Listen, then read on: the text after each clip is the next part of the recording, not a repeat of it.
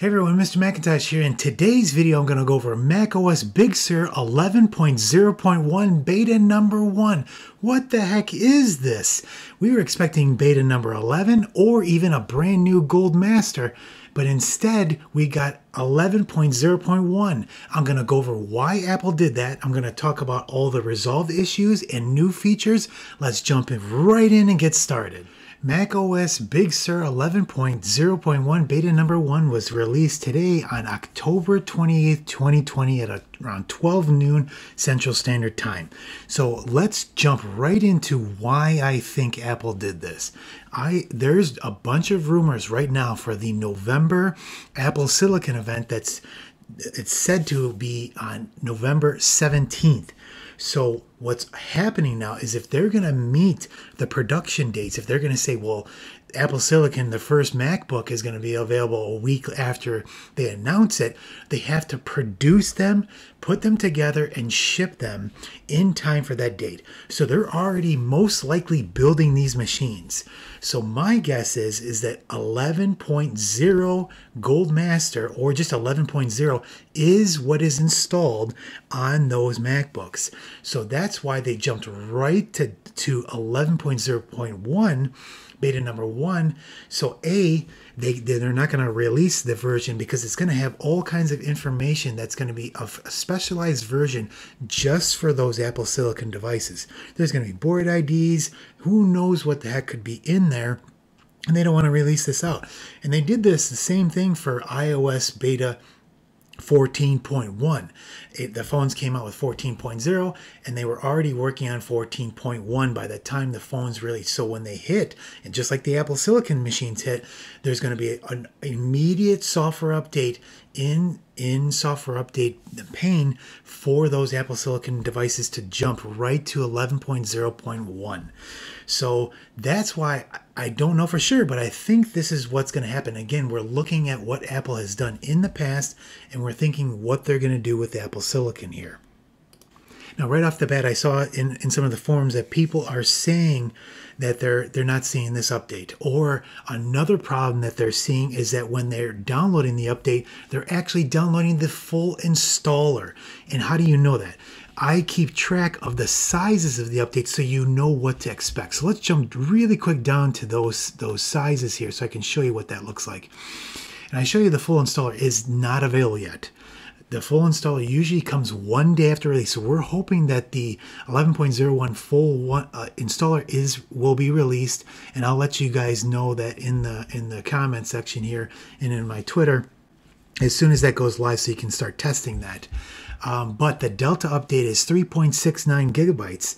So when you go into, and I've got a picture here on the desktop so you can see what this looks like here. I'm going to zoom in. This is what you could, this is what you're normally going to see when, when the update comes up. But a lot of people are complaining that they're not seeing this and they're just hitting this update now.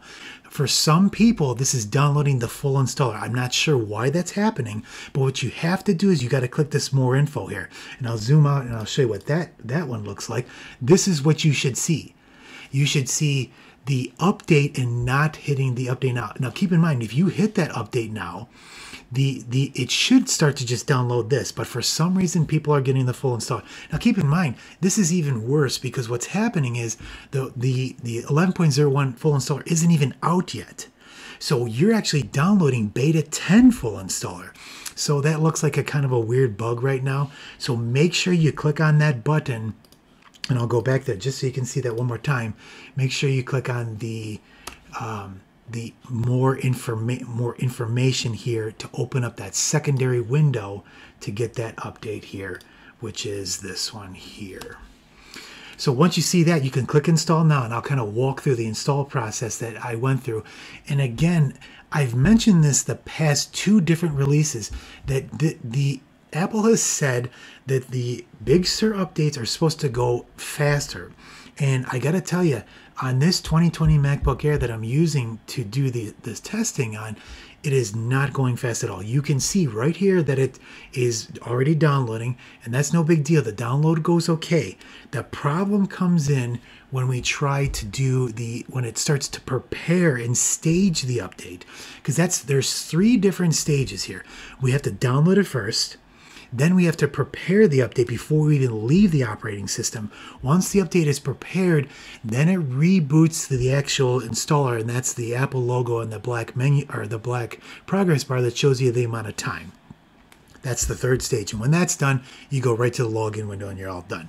So you can see here it's downloading and then we'll go to the next step here. And this is when it's saying that it's starting to prepare. Now here's the problem. Again, like I said, for the last couple updates, it's been taking a very long time and I timed this one. It took an hour to sit here and prepare this update, even though it said it needed only 15 minutes. And like I said, it's not like this is a slower machine. This is a 2020 MacBook Air, so you would think that it would go a lot faster than it is. But it basically sat here and, and, and I, I, took more pictures. So you, what I wanted to show you is what was actually happening in the background. So I took this screenshot. And what this is showing is it's it's about three quarters of the way through. It's still showing 15 minutes now. So the progress bar did move. I pulled up the progress or the activity monitor and I selected the disk option. So you can actually see the disk acti activity. So let's zoom in here and so you can see this happening. What I'm looking at here is the data read per second. So this is telling me normally this sits around 216 kilobytes and it's not even it's not writing any data, but it's reading the data and that's why I was saying that it's staging right now. So when you see it's reading in the megabytes from anywhere between 5 and 15 megabytes, or it could be higher, that's when you know that it's actually doing something and it's not stuck. If you go into this prepare and it's only doing, it's not doing anything like in kilobytes, it might be stuck and you're, not, you're having a problem. So when I saw this, I know that it was preparing and it was doing okay. So I said, okay, we're just going to wait. And then here, here's the next stage. Now we're now we're about 80% and now we've got 10 minutes remaining. So let's keep going. Now we got five minutes and probably about 85 to 90% done. So we're probably at the 50 minute mark here. And then finally it did go and this is what I got when it came back up here. So again, let it go. It's it is moving. Don't power down or try to close off or update. Give it to some time to go. So that's it for that the install process. Let's go back here. And I've got the combo update. Now remember the combo update um, I don't have that size yet, but the combo update is for if you were on beta, anywhere uh, for, from beta 1 to 10, and, and that's it covers all those, and that's why it's a little bit larger. I'm going to guess it's around 4.5 gigabytes. Also, the T2 Bridge update happened, and it updated the Bridge up uh, Bridge OS update from or the T2 chip from uh, 18.16 12.402 to 18.16 12.551. So that's it for the installer information here. Before we jump into the new features, I wanted to go back over something really quick and I wanted to go over the versioning. This, this release now kind of cements what the versioning will look like. We now have macOS Catalina 10.15.7 out. When macOS was first released, it was 10.0.0. And it's the same thing with 11. It's going to be 11.0.0, probably on the Apple Silicon devices. But when it goes live, it's going to be 10 or 11.0.1. So let's look at the SW version here. And you can see that. So that's what it's going to be. It's going to match exactly what Mac OS 10 is. So for example, this is what's going to go live, probably 11.0.1, and then the next combination update will be 11.0.2, and then next year it'll be 11.1.0, which will be released. So I just wanted to kind of go over that, and I think it's neat that we kind of know how that versioning is going to be now. So let's jump right into the new features. Let's take a look at some of those new Big Sur 11.0.1 wallpapers. We've got some new dynamic desktop pictures and also some regular desktop pictures. I took a screen grab of the wallpapers before we made the jump so we can compare from beta 10. Let's take a look at those. Move over these to the side here. And you can see that there's four brand new dynamic desktops. One, the cliffs, the lake, the desert, and the beach. And look what they're kicking out to the curb. Mojave is gone. See you later. Let's open up the next one here and I can show you the regular desktop pictures that they have added and removed here. We'll go back down here and we can see that Catalina is still here if you wanted to use that. All the other uh, Catalina shorelines are still here, but look, Mojave is gone and it's replaced with Peak Day and peak night. And we can see all these are new here. These are brand new. I'll open I'll show you that next screen here. And they also have removed these flowers. These flowers are gone and they've got these shapes. These shapes are still there from from the previous release. So that's wallpapers let's let's take a look at the, the next new thing here. And actually, this is from my friend Martin Noble. He's got a great YouTube channel, and I'm going to link him in the description. That he jumps into uh, all the new Big Sur over the air updates, and he dives into the files and he finds the new logos. He finds all kinds of new cool things. And one of the things that he explained was is that he dug into the new startup chime sound and they've changed it from the MacBooks from the the earliest Big Sur supported machines in 2013, which is the MacBook Pro, all the way up to 2017 non-T2. They've used the same startup chime as the T2 systems, and he also found out that it's a mono sound. It will you'll immediately tell that it's different and it still sounds okay, but it's just mono. And when you jump, when you get to the T2, it's actually stereo sound. So I thought you guys would think that that's really cool. And let me know in the description if you guys have an older, older test machine or your main machine that you've updated to 1101, and you can tell the new difference with the startup chime. Let's talk about the next thing 4K video. I've got my favorite beach video here. There was a lot of discussion on beta 10 that they were having, users were having a bunch of problems with v, VP, VP VP9 codec. And you, if you were still having that, you were supposed to go into the developer menu. This is the fix, and you go down to experimental features, and you could you could scroll down here and see the VP right here, the VP9 decoder. You would uncheck that, and that would work. So, but you don't need to do that anymore because you need that for 4K. So let's leave that on and go back here. And as you can see, this video is in HD, but you can, if you click on that, it's hidden away here. You got to scroll up and we've got 4K. It's going to take a little bit to buffer. And once it does, you'll see the little 4K logo down here and it will play 4K video. Look at that. That's beautiful. So that's working A-OK in 11.0.1.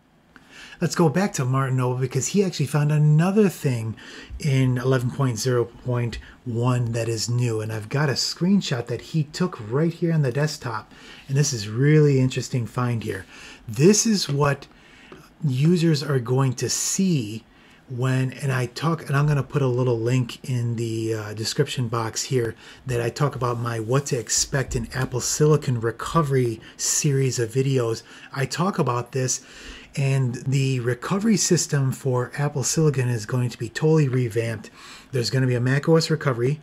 If that's broken, there's going to be a macOS system recovery. That's like the final backup before you run into serious problems. And if that thing goes, this is the the logo that you're going to see and telling you to go to this website to find out more information. Now, what's interesting is this website does not exist right now. I don't think they're going to make it go live until Apple Silicon because I don't want to say anything about that. But the if you want to get a better idea of what that will look like, we can actually go to support iPhone restore and we can see this is probably what it's going to look like and it's going to look pretty much the same. Restart your device and it's going to be a picture of an apple silicon mac telling you to plug it into another mac and do the dfu restore and you guys have already seen the, my videos talking about that whole process and i'm going to totally cover that once the first apple silicon device comes out so you guys will be totally under, uh, informed on how to get that done. So i thought that was really cool that he found that in there and that's what we're going to see if we have hopefully you never see that right? Hopefully you you never see this, but I think it's really cool. And him and I were talking about this. We were actually kind of sad because this is what he found in the original files. It was looking like at one time we were actually going to see the Sad Mac come back and I'm, um, I gotta be honest, I'm bummed that that's not in here. I wish this guy was like replace this little logo, and I get, I get it. They maybe they didn't want to do that, but this is this is the logo that that all classic Macs would have if they were if they booted up uh, and had boot problems, and it actually played a little uh, chime sound to let you know that it was a sad Mac. So I don't know. I'm bummed out, but hey, I get it. They they, they decided to go with this this logo here, so I just thought that that was kind of cool here. There, uh, let's let's shift over to AirPods for a second. You guys saw my AirPods automatic switching video where I talk about the new feature. There's also talk, and I don't have my AirPods with me right now, so I can't show you this, but there's also talk of, of when your AirPods are connected, there's a little icon at the top. Now, I talked about that icon, so I don't know if, if the person that was talking about this, there was actually multiple people talking about this. If it's the same icon as I talked about in my video, I'll have to, to double check that and see if that's the case. Plus, there's also a, what what is looking like a bug once you update to 11.0.1, and if you go into the the sound, the, what users are saying is when they connect their AirPods, only one one of the AirPods to the left or the right is working properly. But what looks like happened was the and you can see that I've got my input here. We'll go to the output. The AirPods will be right here, and what happens is, is somehow, for some reason, this slider bar is going all the way to the right or the left. So if you put your AirPods in and, and you can only hear out of one side, double check this output of the AirPods when you come back up from the 11.0.1 update, and this should fix it, hopefully.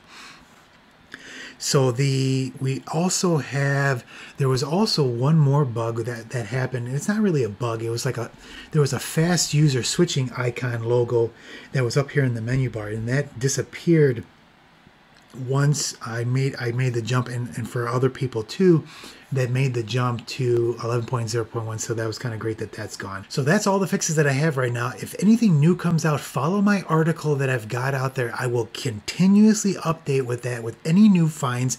Also you can follow me on my twitter because i anything new that i post like for example if our full installer comes out tomorrow i'll be, that'll be the first place that i'll post and you guys will stay totally informed with what's going on.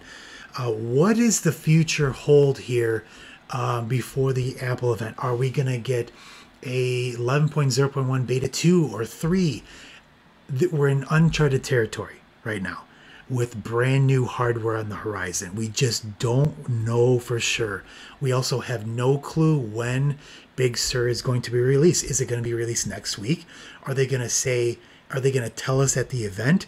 It's coming up pretty quickly here. We just don't know. We're again, we're on uncharted territories. We're just going to have to kind of see at all the rumors. We there's we don't know. No one predicted 11.0.1. There was no leaks for that at all. So we, we're going to have to kind of see how it goes here. Again, I'll let you know when something comes out I appreciate you guys taking the time to watch this video. If this is something that you enjoyed and you want to keep on, on top of all the news that is coming out, click that subscribe button. I would really appreciate it. It shows me that you, you enjoy this content. Talk to you soon in the next video. Thanks a lot. Bye.